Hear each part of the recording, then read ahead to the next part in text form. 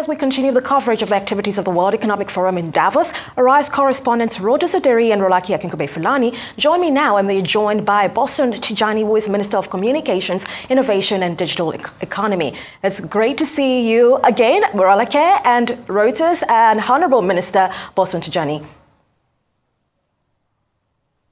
Yes. Thank you very much, Abby. As you said, we're joined today by the Honorable Minister for ICT and Digital Economy of Nigeria, Dr.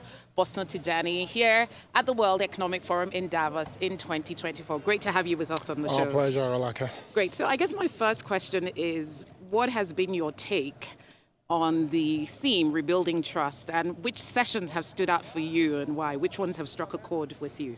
Um, I think the theme is extremely profound, if I can say that uh, because we live at a time when our world is a lot more connected. And that connectivity means that we can share more widely.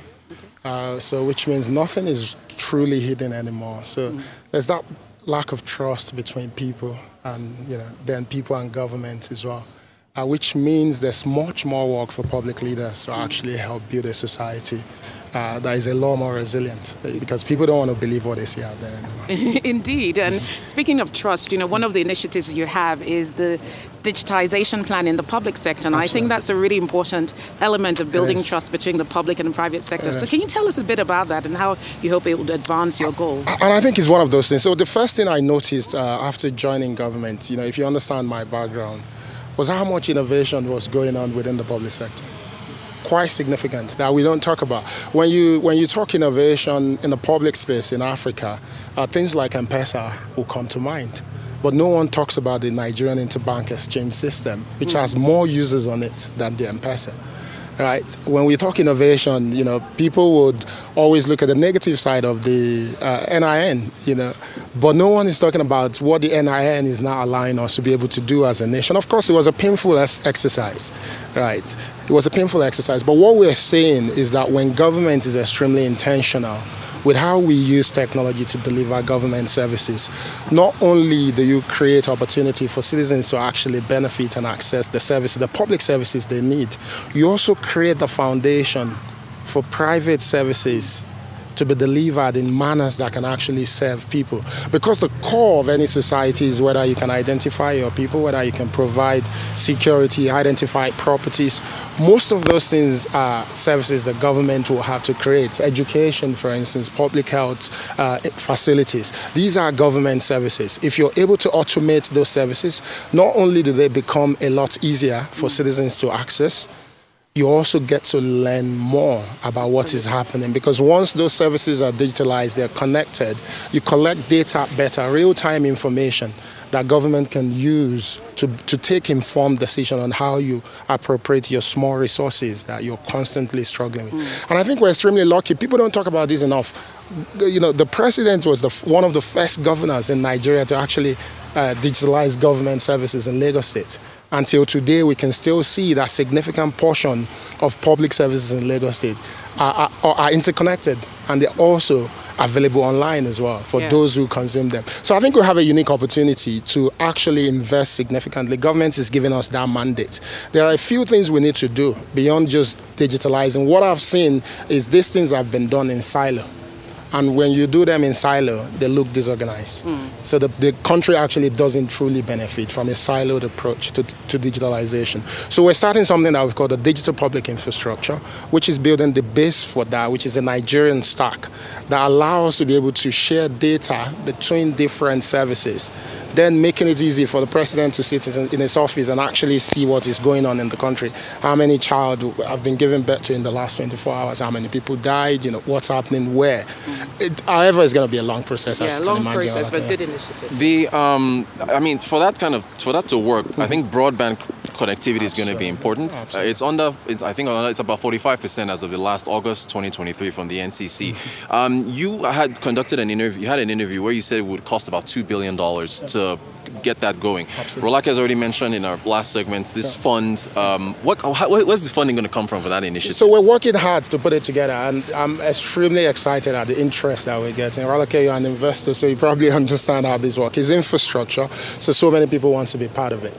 right? And, and what we're thinking, the government is not going to pay for it but government will guarantee the loan for private company to actually lay because if government pays, then we don't achieve our objective. Mm. Not only do we want to secure the fund, we want to ensure that in the next two to three years, a significant part of Nigeria is covered for those who understand the power of connectivity, you can understand what that will do to our economy. It's significant. It's, it's going to be one of the biggest things I do as a minister, okay. you know, once we're able to achieve that. Because people talk about non-consumption. The reason why we're not there at the minute is, you know, the, the private companies will tell you that there are parts of Nigeria that if I invest in infrastructure and if I put fiber optic cable, there's not enough customers that will pay. But what I've seen is that every state you go has nothing less than a thousand schools probably over a thousand uh, hospitals. Mm. They have uh, government offices. So one of the things we're doing, I released a white paper before coming here, is to actually help to reduce that non-consumption by looking for a sustainable business model for connecting public institutions. Yeah. Imagine if all the schools in Nigeria are connected. Just imagine the possibilities. Yeah. It's huge, huge potential. Yeah, huge that potential. would that, that would be very interesting. So, you know, you have a plan, a massive plan Absolutely. for upskilling. Yes. I think three million so Nigerians, talent, yeah. and we're seeing the launch of the 3MTT Absolutely. platform, and there's been a fantastic positive response to it. So, so good on the ministry.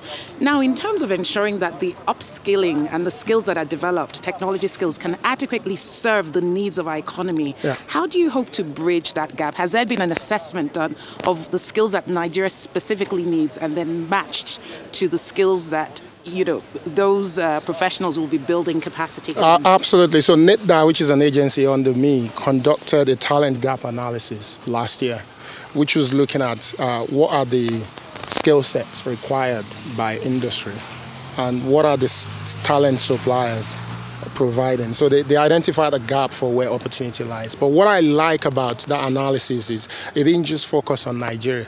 Okay. Because the global, the technology space is Talent global. Is global. It's, it's global as well. So it also looked at, you know, LinkedIn has published a lot of insight on talent gap globally. You know, there's extremely huge gap in workforce for technology globally.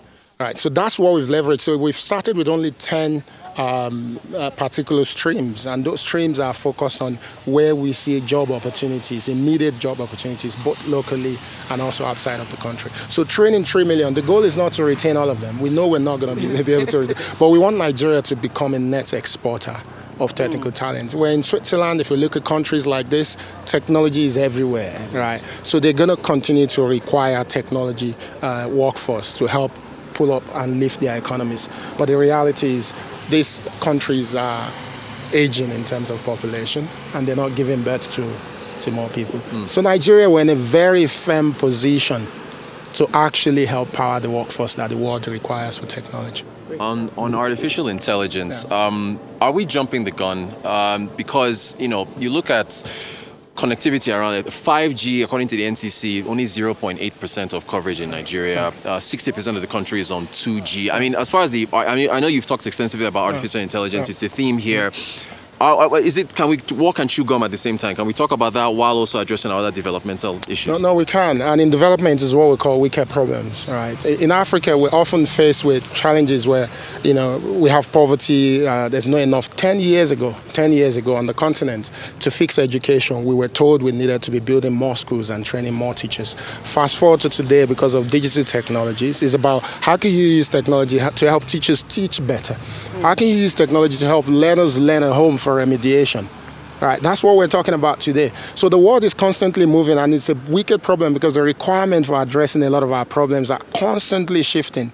But oftentimes we're fixated on what we've always known about those challenges. Right. And the reality is, you're here in Davos. You've seen half of the conversations. Eh, about artificial intelligence. Absolutely. We're talking about the fact that there's no good workforce in the world. They're going to need workforce. We have young people if we don't prioritize artificial intelligence, how are we going to be able to play in that space? None of us expected generative AI last year. Right. Exactly. Do you use it? Like we do. we all use yeah. it. Yeah. So, so, so, so, so, if we wait and say it's not for us, you know, right. I was talking to someone. This is a very touchy conversation on social investment. Do you know that AI can help us understand how to appropriate our funding for social investment better?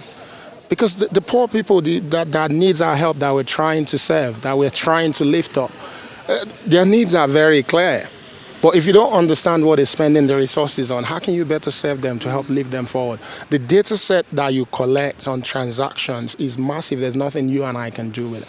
AI can help us make sense out of it. Yes, indeed. And you know, Bill Gates was talking about AI helping to increase productivity. And yeah. I note, I think some months back, you put out a call for yeah. AI specialists, and I, the response was quite. it was. Big, it was immense. Yeah, it was immense. And I'm glad you mentioned social investment because I was going to ask you if you could pick one of our development challenges yeah. now in Nigeria, Nigeria, and apply some of the technology solutions yeah. you're looking at, yeah.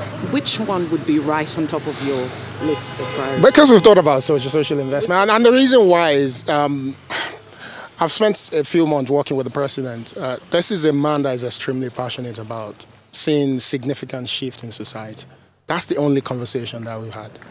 That's why he made the ministers to sign bond and he's taking it seriously. He set up an office to track it because he wants to see changes in, in society. The social investment eh, effort, there's significant amount of money. If we all rally around and support the president's intention, we can truly lift our people up, not just give them handouts. And the more we lift them up, the more we add to that workforce, productive workforce that we want to see, the more we grow our economy, and I think we all will be benefit from it. The Nigerian government, from what I've seen, has been spending resources to try and make society better. But unfortunately, as you're pushing, there's so many things you're pushing back at.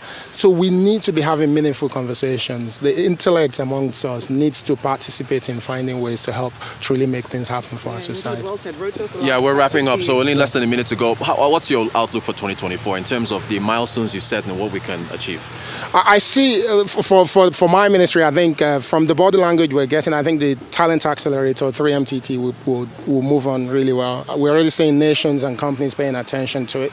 We will see some of our people getting gainful employment because they've been through that program. So I expect that will change the moods among amongst young people. The other is the backbone. Uh, I truly believe that we have a significant opportunity to leapfrog uh, fiber optic ne- network in the country because two million, uh, two billion dollars uh, a small amount of money for the size of impact that we can generate. Thank you very much, Dr. Bosun Tijani. I think one thing that really struck me about is how Africa can serve as a global talent pool for the rest of the world, amongst other areas. We've been joined by the Honorable Minister for ICT and Digital Economy, myself and Rotus Odiri, reporting live here in Davos 2024 for Arise News. Absolutely. Many thanks for that very refreshing conversation. And of course, that was brought to you by Rotus Odiri and Rolake Akinkunmi Filani from the World Economic Forum in Davos, Switzerland. Many thanks.